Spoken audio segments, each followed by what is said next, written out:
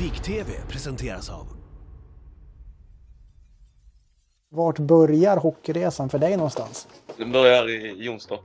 Um, även Hampus Lindholm är därifrån. Känd spelare innan. Men uh, Jonstorp ligger ja, kvart utanför Ängelholm, Rögle då. Skolan och ishallen och fotbollsplanen ligger liksom i samma, samma ja, plats liksom. Så varje gång man gick till skolan så blev man ju intresserad av vad som hände i ishallen liksom. Det var eget initiativ. Och du började som forward direkt eller var det målvakt, back och hoppa runt eller? Jag var back först. Um, sen blev man ju sugen på att göra mål. och då, då var du förflyttad längre fram i banan? Ja, lite så. Men det är ju Rögle som har gällt för dig hela karriären så här långt. Då. Hur var de här första åren i J18, J20 för dig? Oerhört lärorikt. Um, ja, man kom ut på HG, träna morgon första gången och kväll. Är en stor del i min utveckling verkligen. Och du har ju varit eh, en eh, poängmakare titt som tätt. Det är vissa säsonger här som det är lite mindre men, men göra poäng verkar ju vara huvudrollen för dig hittills i karriären. Ja, men jag tycker jag har en bra offensiv. Um, men samtidigt så handlar det om att släppa in mål så jag tar ju verkligen hand om den defensiva delen av spelet också. Um, men det är klart att det är kul att göra poäng. Och du är en storvuxen spelare också, 1,90 85 kilo. Hur skulle du beskriva din spelstil? Ja men tvåvägscenter. Um, gedigen åt båda hållen. Um, försöker använda min storlek. Kanske inte är den mest fysiska även om jag ska utveckla det och vara mer fysiskt detta året. Så, ja men en gedigen tvåvägscenter ska jag säga. Och att få göra debut i SHL, det står ju här 42 matcher. Hur pass mycket mm. fick du spela under de matcherna? Men det var lite till och från. Ehm, det var någon match man kanske satt som 13 men överlag så fick jag verkligen spela. Och det var ju det är en speciell känsla. Ehm, spela i SHL och liksom spela i Rögle ehm, som man har växt upp med. Hur pass överraskande var utvecklingen på säsongen för er? Ja men som du säger, det, det, det var ju en speciell säsong. Um, var nere liksom och försökte ta sig ifrån bottenträsket och um, klara undan kval neråt till att sen få det att stämma i gruppen. Um, hade lite både tur men kanske välförtjänt tur. Um, och gå hela vägen till final så det var ju uh, oerhört lärorikt på det viset också. Och du fick ju också göra ditt första mål på SHL-nivå i ett slutspel. Mm. Hur var den känslan? Ja, men den, den, den är svår att förklara. Um, kan ju se tillbaka på än idag. Liksom, jag fick göra det framför Rögle på bortaplan liksom, men framför Rögleklacken. Det var ju ett betydelsefullt mål också, liksom, en semifinal mot Växjö. Liksom. Så nej, bra, bra minne.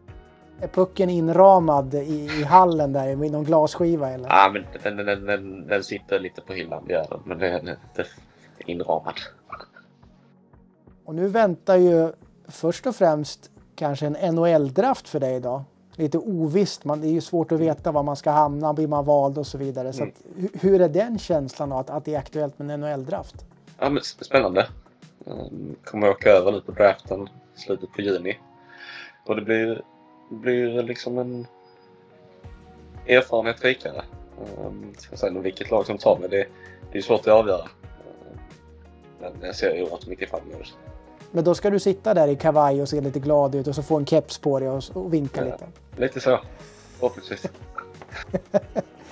Men nu är också klart att du ska spela med Västerås IK. Eh, utlåning från Rögle då. Till, för, till, för, till att börja med då.